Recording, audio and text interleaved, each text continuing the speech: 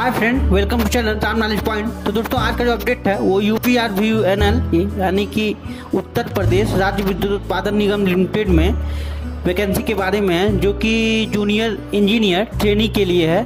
तो जो भी डिप्लोमा होल्डर हैं, जो पास आउट हो चुके हैं, वो U P R V U N L में जूनियर इंजीनियर ट्रेनिंग के लिए अप्लाई कर सकते हैं। और इसका जो फॉर्म भरने का डेट है, वो अभी तीन जून से लेकर दो जुलाई तक इसका फॉर्म जो है भरा जा सकता है। तो ये जो वैकेंसी है बहुत इंपॉर्टेंट है डिप्लोमा होल्डर लोग के लिए। और जो भी डिप्लोमा होल्डर हैं, इस फॉर्म को भर सकते हैं। और इसमें काफ़ी अच्छा जो है प्रोसेस है और जॉब है।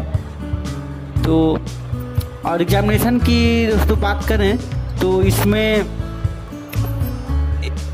एक सी एक सी परीक्षा होगा, जिसमें कुल 150 क्वेश्चंस आपके ब्रांच से मैकेनिकल ब्रांच और इलेक्ट्रिकल ब्रांच से रिलेटेड रिलेटेड आएँगे, जो भी आपका ब्रांच होगा।